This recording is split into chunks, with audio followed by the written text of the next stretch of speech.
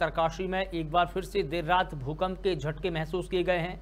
भूकंप की तीव्रता रिएक्टर स्केल पर तीन दशमलव एक मैग्नीट्यूड रही है।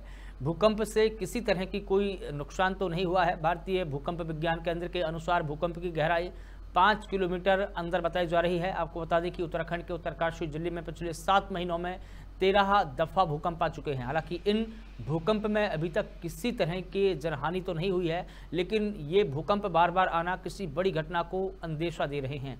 इसके बावजूद भी बार बार भूकंप आने से लोग डरे हुए हैं। उत्तराखंड भूकंप की दृष्टि से काफ़ी संवेदनशील है।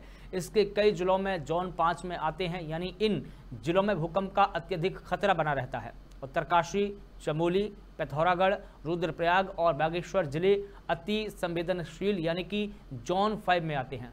इन जिलों में बीते वर्षों में विनाशकारी भूकंप की, भूकंप भी आ चुके हैं। उत्तरकाशी से विनीत कंसवाल की रिपोर्ट।